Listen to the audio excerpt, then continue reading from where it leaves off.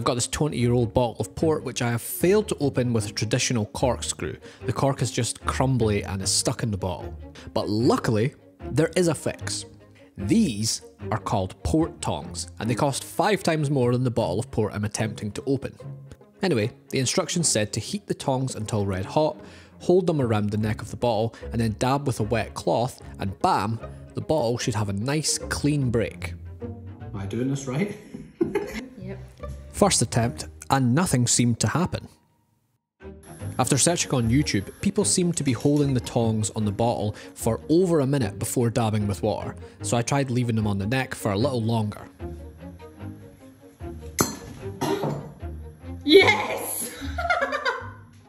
Now you're left with a razor sharp edge and a bottle of port that you have to drink in one sitting as you can't put the cork back in. Ugh. Port's horrible.